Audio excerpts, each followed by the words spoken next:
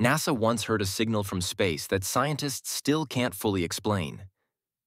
In 1977, a radio telescope at Ohio State University detected what became known as the WOW signal, a 72-second burst coming from the direction of the constellation Sagittarius.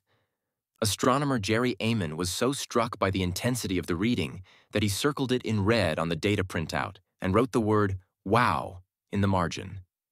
Unlike the usual static and interference radio astronomers record, this signal was strong, narrowband, and came from deep space.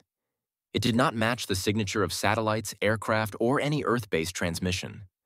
Despite repeated attempts, the signal has never been detected again.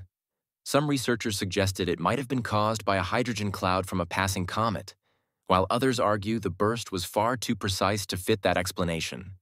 For decades, Scientists have debated what caused it, but no single theory has been confirmed. What remains is a mystery.